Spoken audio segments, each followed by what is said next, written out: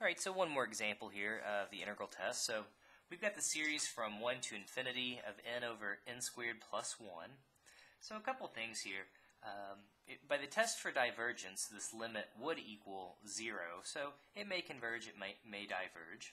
Um, if we think about the function f of x equals x over uh, x squared plus 1, this is definitely a continuous function. It's a continuous uh, function because it's a rational function, and there's nothing that makes the denominator undefined. So this is continuous for all values of x.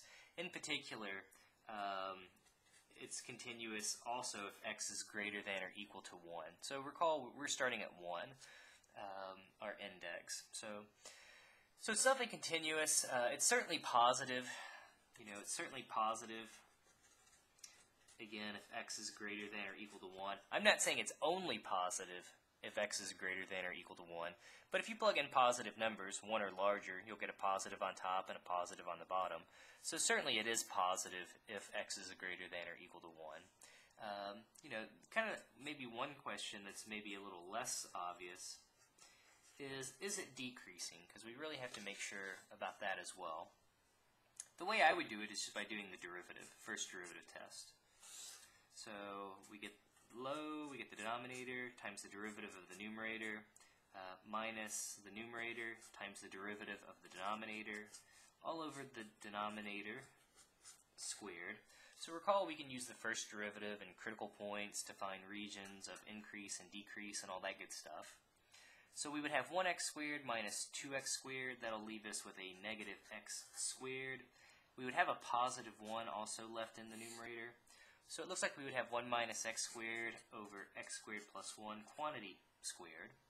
Well, if we find the critical points for this um, by setting the derivative you know, equal to 0, there's nothing that makes the derivative undefined in this case because there's nothing that's going to make the denominator 0. Well, if we set the numerator equal to 0, we can uh, add the x squared, take the square root. We'll get x equals plus and minus 1. You know, honestly, I don't even care what the function's doing back here, whether it's increasing or decreasing. And between negative 1 and 1, I also just don't care whether it's increasing or decreasing. All I really need to know is, again, for values of, uh, of x that are 1 and larger, what's happening to the function? Well, if I take a number bigger than 1, let's say x equals 10, in the numerator you would have 1 minus uh, 100, which is definitely negative, in the bottom, you're squaring it, so it's always positive. So uh, f prime of 10 is definitely less than 0. So that tells us, uh, since the derivative is less than 0, that our function is decreasing.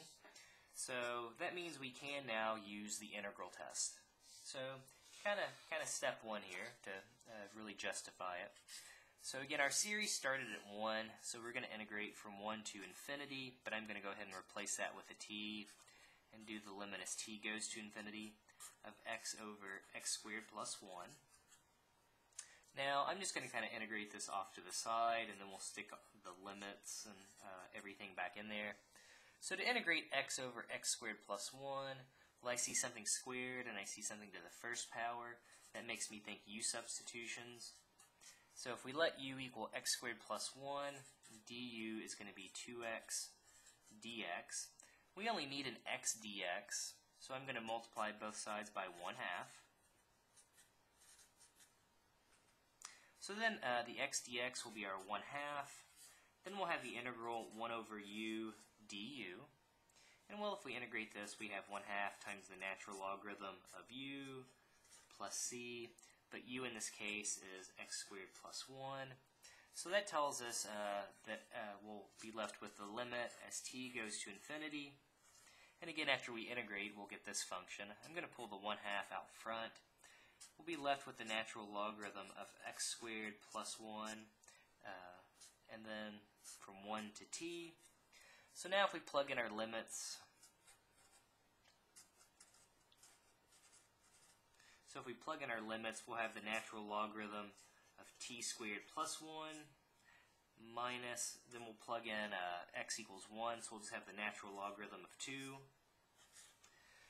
Well, again, the only thing I'm really interested in is what happens with this limit. Uh, is it is it convergent or divergent? But as t goes to infinity, you know, t squared plus 1, that's certainly going to go off to infinity. And then you've got the natural logarithm of a really, really big number. Well, this does equal a really, really big number if you remember the graph of ln of x. Um, so in this case, this is going to be uh, a divergent uh, improper integral. So since the improper integral uh, diverges, likewise we can go back and say that our original series is also divergent.